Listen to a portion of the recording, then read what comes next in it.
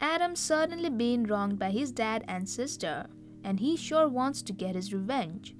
A previous spoiler showed him considering a collaboration with Ashland, but now Ash is dead and his body is gone.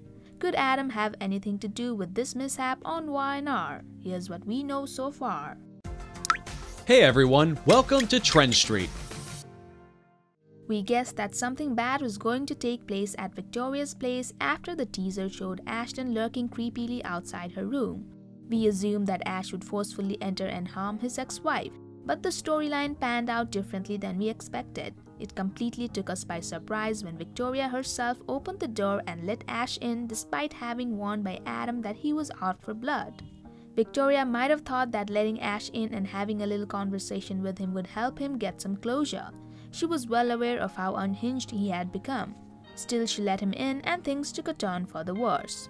Vicky quickly realizes her mistake, but it's too late. Ash refuses to leave, stating he has nothing to leave, which gives her the shivers. Then just as the situation starts slipping through her hands, Nick intervenes. One punch from Nick and Ash crashes on the fireplace hearth. Ash injures his head and a pulse check confirms that he is dead. Both Victoria and Nick are in shock, so they decide they need a nice breath of air, leaving Ash's body alone in the room for just enough time to undergo another twist. The brother-sister duo step back inside and see that Ash's body has vanished. How? Nobody knows. A murder has been committed but there's no proof of it. Does this mean Nick is freed up from a potential murder punishment? If it's Victor who has moved the body, then yes, Nick may be safe. But what if somebody else is involved, like Adam? Will Nick still be safe? Of course, Adam is angry at his family, but throwing Nick under the bus with this situation, the new Adam would not do anything like that. Adam tried to warn Nick and Victoria about Ash last week. Then he also tried to talk to Victor about it. Although no one took him seriously, Adam knew that Ash was out for blood.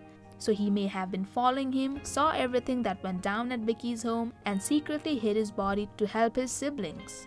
Who has Ashland? It's still a mystery. Is Ashland dead for real? It's even a bigger mystery. Wherever Ashland is, we wonder if there is any possibility that he is still alive and will show up as an even dangerous villain in the future. What do you think might have happened to Ashland? Do you want to see him return alive? Let us know in the comments below. Thank you for checking this video out. Don't forget to hit that like button and subscribe to our channel for new videos every day. Turn that bell notification on if you want to hear from us and comment down below if you've subscribed and we'll make sure to reply and thank as many of you as we possibly can.